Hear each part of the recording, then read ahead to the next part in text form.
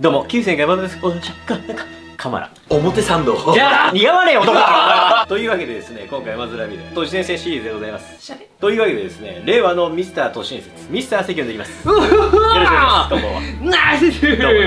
やー、ミスター関、あそこローソンでずっとタバコ吸ってる外国人じゃん 今回の都市伝説は、熾烈な争いを繰り広げた2024年アメリカ大統領選挙。この選挙の裏ではとある重大なことが行われていたのね。というわけでですね今回はそのアメリカ大統領選挙の裏について触れていきたいと思いますアメリカ大統領選挙は現地時間の5日朝、日本時間の5日午後8時から各州で順次投票が開始されるのね。全米50州とワシントン DC の計51の投票区で約1億5000万人の有権者が投票を行う見込みなのよ。ドナルド・ハリス。妥協すんなお前 この動画が公開されている頃には、すでに新大統領が決まっていることなのね。最新の世論調査では大接戦となっており、民主党のハリス副大統領と共和党のトランプ前大統領は投票日前日の4日、勝敗の鍵を握る激戦州でそれぞれ最後の訴えを行うこととなってるのよ。先ほどトランプ勝利決まってるね。今やってますね、うん、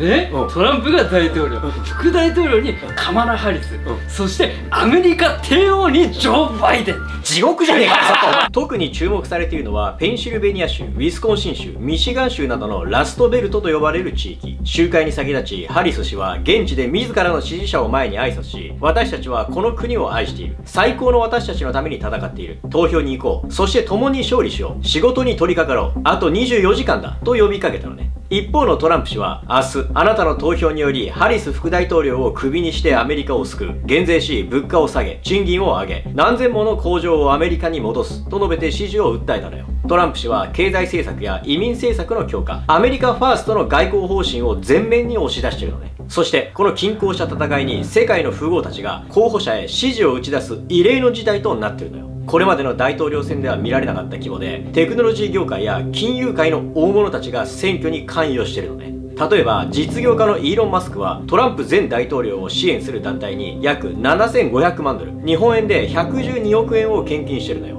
マスク氏は以前から規制緩和や宇宙開発の推進を主張しておりトランプ氏の政策と親和性が高いとされてるのね。Yes we can! 不倫だよお前。そしてアメリカの有力紙ニューヨーク・タイムズはビル・ゲイツがアメリカ大統領選挙でハリス副大統領を支援する非営利団体に約5000万ドル。日本円で75億5000万円を献金したことを関係者に明らかにしたのよ。この金額はゲイツの過去の政治献金としては最大規模となるのね。ねギリシャ神話では人が死ぬと星になるんだよそしてイーロン・マスクとトランプっていうのは宇宙に行く。はい、そして2人はイーロン座とドナルド座になる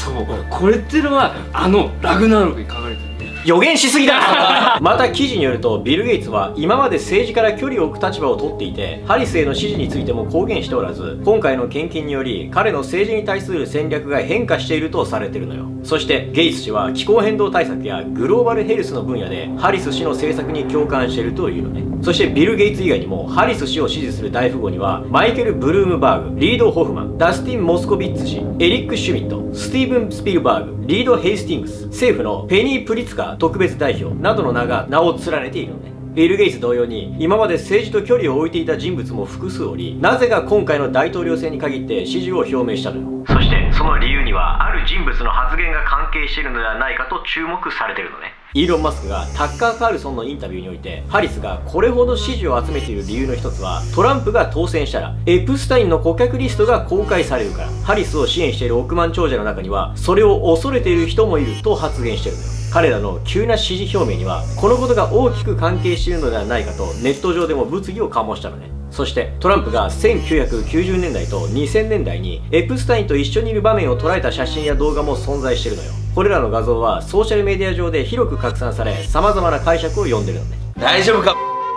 名指しで言うな そしてトランプ陣営はこれらの関連性を否定し過去の交友関係は表面的なものだったと主張してるのよ。果たして今回の大統領選の結果が出た後に一体どんなスキャンダルが報道されるのか世界から注目を浴びてるのね。エプスタインの事件は随分と前に起きたことだけどもその熱は冷めることなく今も取り沙汰されてるのよ。それにはやはりイギリス王室日本の要人などそうそうたる人物が絡んでいるからに違いないのねえ面白いね、うん、ハリス支持を表明することによって、うん、エプスタインとの交流がバレるっていう、うん、で誰？力士。フリー力士